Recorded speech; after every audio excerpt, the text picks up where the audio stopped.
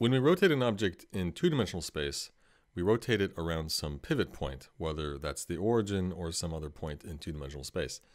But when we rotate an object in three-dimensional space, we're rotating it around some axis, some line. That axis could be one of our three coordinate system axes, but it could just be some arbitrary line in space. In fact, it doesn't even necessarily pass through the origin. Although, it turns out, if you want to rotate something around an axis that doesn't pass through the origin, you first have to need to know how to rotate something around the origin. Because once you've figured that out, once you've figured out how to rotate around an axis passing through the origin to rotate around some other axis, you temporarily change the frame of reference by translating your object, then do the rotation as if it's around the origin, then change the frame of reference back. So turns out rotating around some arbitrary axis is a simple problem once you know how to rotate around an axis going through the origin. So that's what we're going to focus on, rotating around an axis going through the origin. So there are a few different ways to represent rotations. I think the simplest is what's called the axis angle scheme, or sometimes the angle axis scheme. And in this scheme, whatever we call it, we define an axis by a vector, a three-dimensional vector, and that implies you have some axis running through the origin, and then we also specify some angle of rotation around that axis. So it requires four numbers to represent a rotation. It requires the three coordinates of our axis vector, and it requires the amount of rotation expressed either as degrees or radians. So here in this demo, we have controls to pitch our axis up and down and to orbit it around our object. Uh, notice though, it's always going through the origin, which here is at the center of our object. And having defined our axis, we can spin around it, which I can do with my controls Q and W now. So having defined my axis, I then apply some amount of spin around that axis. Somewhat unintuitively, I believe, it turns out that with the scheme, we can apply any possible rotation to an object by defining some axis going through its origin and some amount of rotation around that axis. Given our object starting in the so-called identity orientation, the orientation where no rotation has been applied at all, we can get from that orientation to any other by applying one rotation of some amount of degrees or radians around some axis that runs to the origin. In some cases, though, it's a little unintuitive to see the connection between the numbers and the resulting orientation. So if you have in mind some resulting orientation you want, figuring out then what the axis and the amount of rotation should be can be tricky in some cases, and vice versa. Given numbers for an axis and amount of rotation, visualizing what the result of that will be isn't always easy. So this axis angle scheme, while straightforward, is not necessarily the easiest for humans to work with. Another way of representing rotations is what are called Euler angles, where we're applying not just one rotation around an axis, but around three axes, the perpendicular x, y, and z axes of our coordinate system. And so in this demo with my controls, I'm defining some amount of rotation around the x-axis, some amount of rotation around the y-axis, and some amount of rotation around the z-axis. The question though is which order are these rotations being applied in? Because it turns out, this is not always something that's immediately apparent, but it can be proven formally. Turns out when you apply multiple rotations around a single axis, those rotations are cumulative and it doesn't matter what order you do the rotations in. If I do 30 degrees of rotation around an axis and then 40 degrees around that same axis, those two rotations together just have the effect of doing one rotation of 70 degrees. And it doesn't matter which of the two I do first. If I do 30 degrees and then 40 degrees or 40 degrees and then 30 degrees, we get the same result in the end. But as soon as I do multiple rotations on an object, but the rotations are around different axes, then the order matters in the general case, if I rotate some amount of degrees around one axis, then some amount of degrees around a different axis, it matters which of those I do first. I get different results if I do A before B or B before A. There are a few special cases where you would get the same result, but as a general rule, you don't get the same result. So in fact, here with Euler angles, the question is, we're doing rotations around these three axes, in what order are they applied? Are we first rotating around x, then y, then z, or z, then y, then x? Well, we actually have six possible orders. There's XYZ, XZY, YXZ, YZX, ZXY, and ZYX. And by default, we're doing ZXY because that is in fact the order that unity applies. But here we can see what the result if we did a different order. So here XYZ, same rotation angles just applied in a different order and we get a very different result. In fact, I'll just go through all the possibilities. And as you can see, all of them are different. So order of rotations around different axes, that order matters. When we describe rotation in terms of Euler angles, we have to decide which of these six orders we want to use. The choice is, in a sense, arbitrary because any one of these orders does allow us to rotate an object in any way we see fit. Just like with axis angle, we can achieve any possible rotation. But there's a good reason that Unity picks ZYX because it turns out in that ordering, here I'll reset everything back to default. It works out that with my controls, when I rotate around Y, it's sort of like I'm controlling the yaw. And when I apply rotation on Z, it's like I'm controlling the, the roll of my object. And then when I change the X rotation, it's like I'm pitching the object up and down. And this behavior holds no matter what orientation the object is already in. So here I've rolled the object over on its uh, z-axis, but now I, I change the x-axis to change the pitch, and it's still pitching up and down in a way that's uh, predictable for me, a human user. Whereas if I chose a different ordering, like say here yxz, and I try and uh, control things with these axes, it, it gets quite odd. Like there are scenarios where the behavior is quite unexpected. Anyway, so ZXY for Euler angles uh, generally I think gives the most intuitive controls for us, the human users. Though actually we have this option of whether we want intrinsic angles. And what that is referring to is, well, when an object is at the identity orientation, it has the three global XYZ axes. But as soon as we apply some amount of rotation, you can imagine that the object has its own set of local XYZ axes that have rotated along with it. So it has, in a sense, its own local XYZ axes, no matter what its current orientation is. We might want to do rotations around these local axes. And doing so is called an intrinsic rotation as opposed to an extrinsic rotation. Extrinsic rotations are rotations around the global XYZ axes, uh, here sort of visualized with these markers here, whereas an intrinsic rotation is rotation around the uh, local axes, the axes that have rotated along with the object. And so it works out with Euler angles that not only can we achieve any possible rotation by extrinsically rotating around x, y, and z, in one of the six orders, we can also achieve any possible rotation by intrinsically rotating around x, y, and z in one of the six orders. So here when I uh, uh check on intrinsic, and now we're going to do x, y, and z. So be clear, I'll do some x rotation first. And that has the same effect as extrinsic because this is the first rotation done. We're starting from the identity orientation, and in the identity orientation, the global axes are the same as the local axes. It's only once we've applied uh, rotation, only then do the intrinsic axes move. So now having rotated uh, on the x-axis, when I then apply the, a y-axis rotation intrinsically, it's relative from the local coordinate system. So see how it's like yawing relative to its own coordinate system? Here, I'll switch back to extrinsic, and you can see a totally different effect because now we're rotating on the global y-axis, whereas I go back to uh, uh, intrinsic and we're rotating relative to the uh, local y-axis, not the global. And okay, so finally I'll apply some rotation along z, and now we're spinning the z-axis local to the object itself. So with Euler angles, we have those 12 options. As I said though, in Unity, the system they use, the scheme they use, is extrinsic rotation around z, x, and y in that order. So these Euler angles are what you see in the editor itself when you look at the transform. Here I can take this object and rotate it around the x-axis, y-axis, and the z-axis. And I'll just set those all back. This, however, is actually a lie because internally the way Unity is representing rotations, and in fact, really the way all game engines these days represent rotations, is with what are called quaternions. Quaternions are some fairly high-level math and understand they're not really just about rotations. Um, they're they're more broadly applicable. They're more broadly interesting. And in fact, what we use in games for rotations are just a subset of quaternions called unit quaternions. A quaternion boils down to being this thing made up of four values. I, I believe that's why they're called quaternions, as in four four things. And those four values, well, what they actually are in the math is you have some uh, scalar value, you have a coefficient of i, i the imaginary number, another coefficient of j, another imaginary number, and a coefficient of, of k, a third imaginary number. But we don't need to really deal with all that.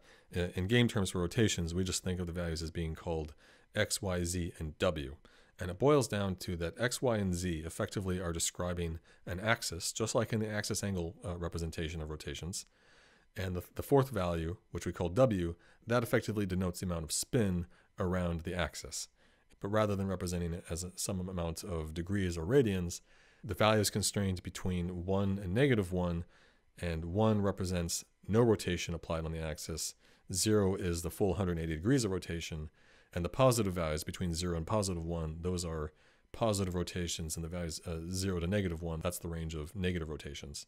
And the way the values are mapped to degrees and radians isn't exactly linear. So, so 90 degrees, for example, is not uh, 0.5 as you would expect. It's uh, 0.71 something. So the relationship between the W value and the amount of rotation is not exactly linear.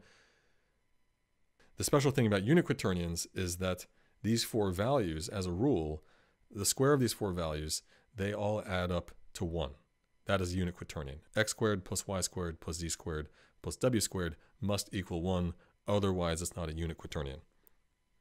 For reasons we won't get into, it turns out that unit quaternions have some useful properties that are uh, conducive to efficiency and also um, neatly interpolating between rotation values, between quaternion values, because that's often what we want to do with rotations is smoothly transition from one orientation to another orientation.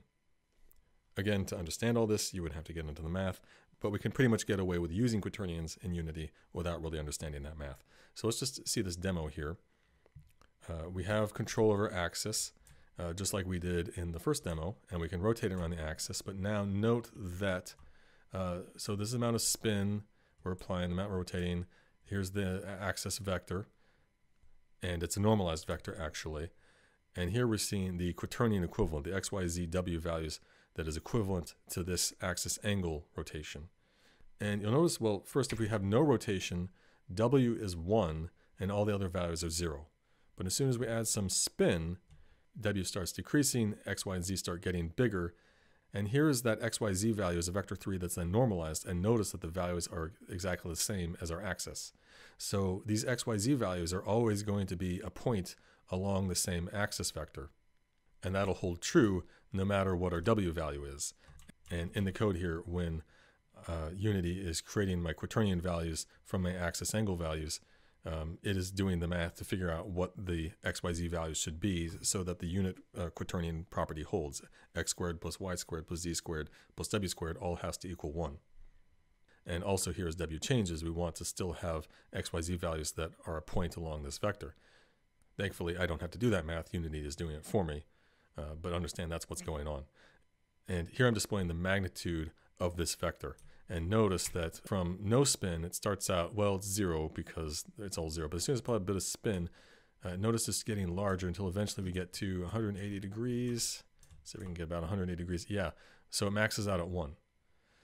So the xyz values, imagine as a vector describing our axis of rotation. And uh, the, the closer our spin gets to 180 degrees, either positive or negative, it's, it's getting closer and closer to 1. Eventually hits tops out at 1. And then as we move away from 180 degrees rotation, it shrinks to zero. Also, notice there are cases where here the XYZ, the values are the same for a quaternion axis when, when normalized, except the signs have been flipped.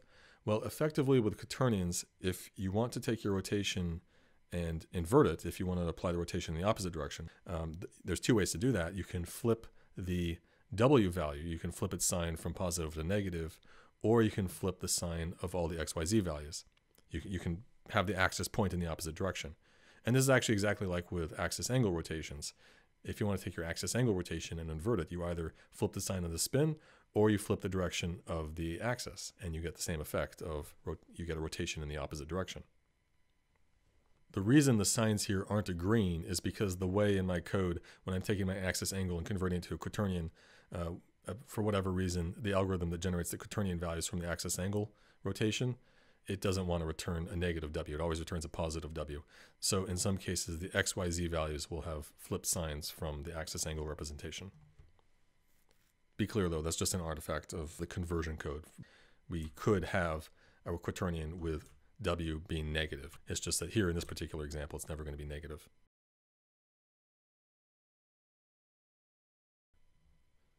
So now in the Unity API, we have a quaternion class because that's how internally all rotations are represented. We don't have an Euler angle class. We don't have a axis angle class. Instead, we just have quaternions. But as you'll see in a moment, the quaternion class has methods for converting uh, to and from those formats. But first off, we have in quaternion a static property called identity, which is simply the quaternion value where x, y, and z are 0 and w is 1. So this is effectively the identity rotation, the rotation which is no rotation at all. And then the quaternion class overloads the asterisk operator to perform quaternion multiplication, which is defined to do this operation. It produces a new quaternion doing these calculations for reasons that we actually don't really need to understand, but this is what it does. Notice importantly, if you look at this, you'll see it's not a commutative operation. You would get a different result if you multiplied b times a. So unlike with normal numbers, where multiplication is defined to be commutative, quaternion multiplication is not commutative.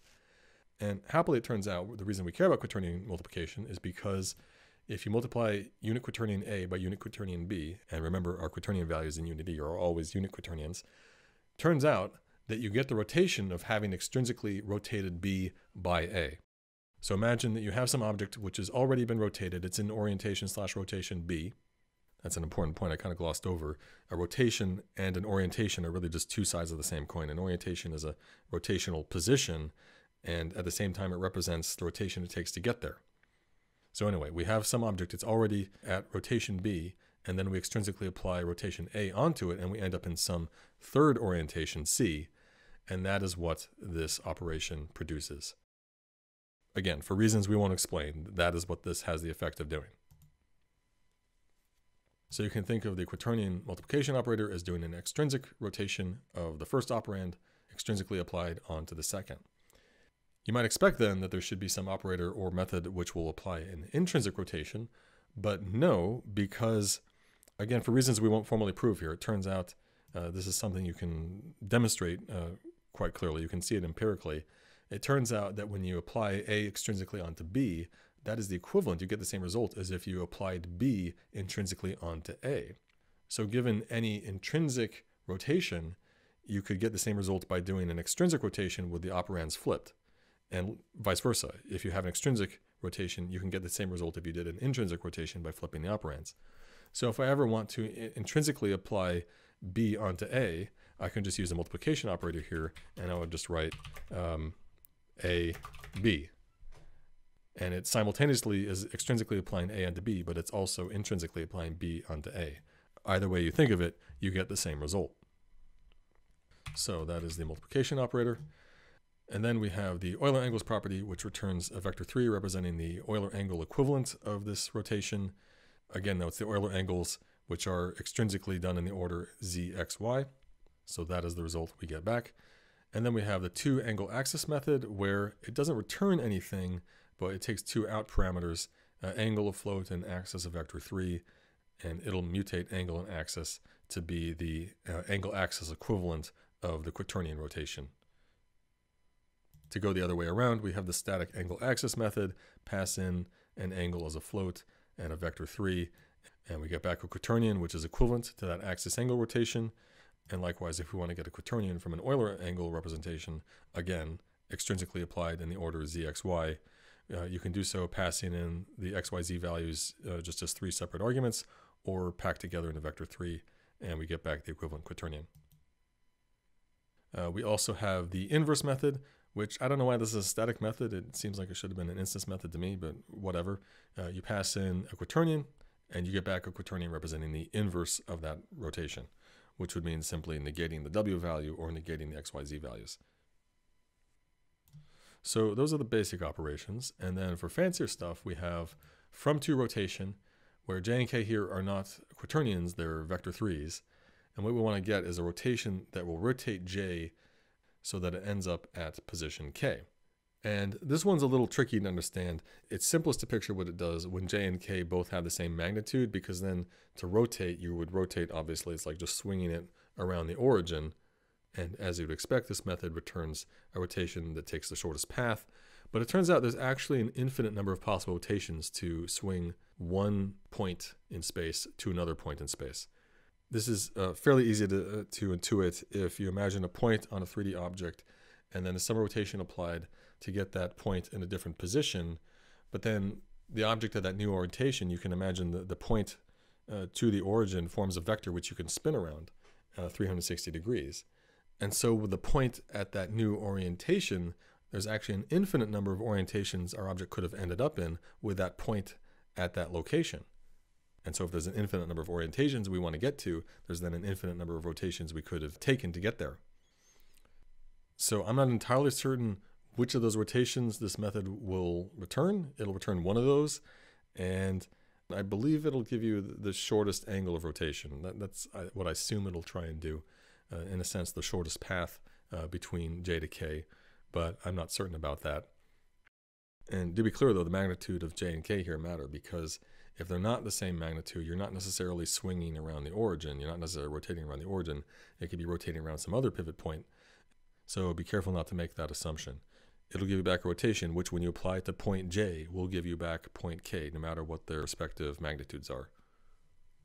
Uh, anyway, so look rotation we again provide two vectors and well, for a 3D object, you can imagine it has sort of the, the front facing of the object. This is, this is easiest to imagine if you imagine a 3D object like, say, a, a human head or some animal head. You know, there's the front facing of the object, and then there's also the upward direction. There's a vector which is coming out of the front of your object, and there's another vector going straight up, going out of the top. And what we commonly want to do with objects is rotate it so that it faces a particular direction but that facing then is effectively an axis we can spin around. And so we also need to decide, well, relative from that axis, that forward facing axis, which way is up.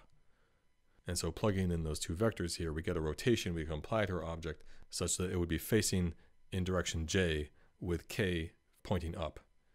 And in the case where k is not perpendicular to j, it'll use the vector 3 orthonormalize uh, method we looked at last time, where uh, it'll take J as being forward and then find the plane between J and K and uh, swing K until it is on a plane perpendicular with J. So what actually matters is the plane formed by J and K. That's what determines what the up direction is. So look rotation is a very useful method. And then we have the dot method, which of course computes the dot product. And the dot product on quaternions is defined just like with vector 2s and vector 3s. You're taking the corresponding elements of the two quaternions uh, multiplying them together, and then summing it all as one result. So we take the x and the x, multiply them together, the y and the y, so, uh, multiply those together, z and z, w and w, and then sum that all together into one value. And it turns out, uh, we, we definitely won't prove this, but it turns out that this formula, uh, just like we saw with vector 2s, applies to quaternions. You take the magnitude of the two quaternions, multiply them together, multiply them by the cosine of the angle between the quaternions, that is, for the rotation uh, that we could apply to get from A to B, there's that's a particular angle. You take the cosine of that and multiply it by the magnitudes, you get something equivalent to the dot product of the two quaternions. And so with that equation, like we did with vectors, you can then compute the angle between the two uh, quaternions. And happily, with unit quaternions, it turns out that the magnitude, we didn't really, we won't go into how magnitude is defined for quaternions, um, but no, no, matter, because with unit quaternions, it's always going to be equal to 1. So we can just ignore this part of the equation. And so when it comes time to compute the angle between two quaternions, again, what this means effectively is that we're finding the rotation from A to B, and we want to figure out what the angle of that rotation is.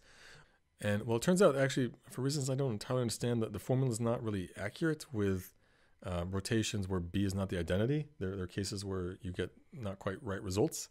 I don't know why. But the fix for that is that you get the rotation from A to B, which is computed like this. You get the inverse of A, and then you extrinsically apply B onto it, and you get some third uh, rotation C, and that is the rotation that you would apply to A to get to B. And so with that quaternion, we then, well, okay, here we need to get the dot product between uh, C and uh, the identity rotation. But it turns out the dot product of some quaternion with the identity quaternion, well, if you just plug into the formula here, you'll see very quickly, well, then the XYZ of the identity are all zeros. So this part uh, we can just immediately ignore. And then the uh, identity W value is 1. So all this boils down to is really just the W of C. So this is just uh, C dot W. And we get the arc cosine of that. And for reasons I don't understand, you multiply it by 2, and that gets you a value which is in radians, but we want degrees, so we multiply it by the the constant rad to degrees. That gets us the, the equivalent in, in degrees. So that's our angle. And then lastly, for whatever reason, they decided that angle should always return an, an angle that's less than 180 degrees and never negative. So if angle is greater than 180 degrees, we're going to subtract 360. And if it's less than zero after that, uh, then we're going to flip the sign so it's positive. So it's, it's really giving you the um, absolute angle rather than the signed angle. And lastly, we have lerp and slerp for interpolating between quaternions, and these behave very similar to the uh, equivalent methods for vectors. Uh, I believe the way lerp is defined for quaternion is it just simply um, takes the two quaternion values and interpolates the respective components. So for example, here we're interpolating 40% of the way from A to B, then for the x component, for example, that's just uh, figuring out what, uh, what is 40% of the way from A dot x to B dot x and it does the same thing for all the respective uh, components of these two quaternions.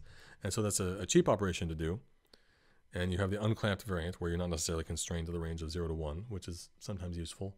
Uh, but then other times you're going to want to do slerp, which is, uh, it's not exactly uh, analogous to uh, the, the slerp of vectors, but it's, it's kind of the same effect where it's really interpolating the, the angles of change rather than rather than just linearly interpolating between the respective component values. It's a more expensive operation, but it does give us, in a sense, a more accurate interpolation. And in some cases, that will be noticeable, particularly for cases where the uh, rotation between A and B is, is large. Uh, but again, keep in mind it is more expensive. So you may want to start off with slerps, but then if you have performance problems, you may want to look into, in some cases, uh, bumping back down to lerps. And in, in many cases, the difference really won't be noticeable to uh, human players in any case, uh, lastly, we have rotate towards, which is like slerp, but instead of uh, expressing the amount we want to uh, interpolate by in terms of some percentage, we just say that, well, we want to go from A to B. We want to get the rotation between them and travel some distance along the way. But the amount we want to travel, we express in terms of degrees rather than percentage. So say, for example, if the rotation from A to B were 120 degrees, if we rotate towards 60 degrees, that'd be equivalent of slerping with 0.5. It's like slerping half of the way there. It's just in this case, we, we express the amount we want to rotate in terms of actual degrees rather than uh, percentage between. And in the case where the rotation from A to B is actually uh, smaller than this value, we're just going to get back B. Whatever this value is, we're not going to rotate past B. Just in case you're not entirely clear what this interpolation looks like, uh, here I have a demo where we have our object, the capsule so-called, and uh, there's actually three copies right on top of each other. Um, and one of them has a green tip and another one has a red tip. For the one with the green tip, I'm using slerp to interpolate from the starting rotation to the end rotation. For red, I'm using lerp. And for the blue one, I'm doing my own solution, which is uh, finding the rotation from uh, the starting position to the end, expressing that rotation in terms of axis angle, and then linearly interpolating the angle. So at the starting point, we're uh, applying no rotation around that axis, and by the end, we're applying the full rotation, and halfway in between, we're applying half of it. So here, let me put these back, uh, reset the position, reset position, and now we're going to play. And if these solutions were all equivalent, if they interpolated exactly the same way, we should see them all move together. And let's see, so it's just randomly pick two angles, the start and end, and then rotate between them, and then stop and wait for a second, and then do it again for another start and end. And what you're seeing here is that the, the green and the blue, that's the slerp and my manual axis angle solution, my manual interpolation. Uh, those are staying on top of each other. Those are always doing exactly the same thing and you just get a bit of Z fighting where one is it can't decide which to draw on top of each other. But then the the lerp one, uh, the the red, that sometimes doesn't uh, follow exactly the same speed. They're, it's following the same path of rotation, but at first it's going slower, and then past the halfway point it's going a bit faster, and so you don't get exactly the same.